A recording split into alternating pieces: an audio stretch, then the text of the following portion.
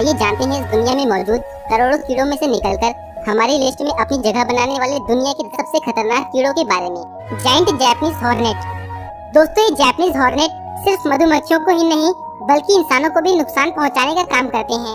इनके जहर से कई इंसानों को प्रॉपर ट्रीटमेंट न मिल पाने की वजह से सिर्फ़ कुछ ही मिनटों में उनकी मौत हो जाती है।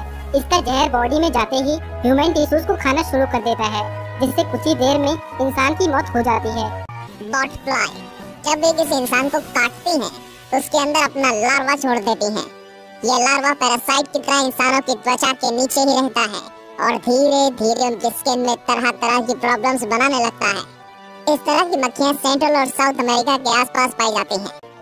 द फायर एंट इन फायर एंट्स के काटने पर बहुत दर्द का सामना करना पड़ता है और बार बार काटे जाने पर विक्टिम को एलर्जी भी हो जाती है। दोस्तों हर बार काटने पर विक्टिम की बॉडी में कुछ मात्रा में इनका जहर भी पहुँचता रहता है जिससे दाने खुजली सीने में दर्द सांस लेने में दिक्कत होती रहती है। किसिंग बग किसिंग बग इंसानों के अंदर पैरासाइट भी ट्रांसमिट करते हैं जिससे कि वो बीमार पड़ने लगते हैं और मरने की कगार पर पहुँच जाते हैं।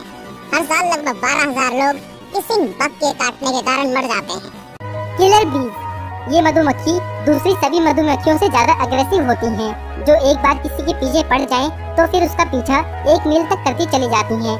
इतनी देर में बहुत से लोग थक कर गिर जाते हैं और फिर शुरू होता है इनका अटैक नॉर्मली दो चार बीस के काटने से तो बस एलर्जी ही होती है।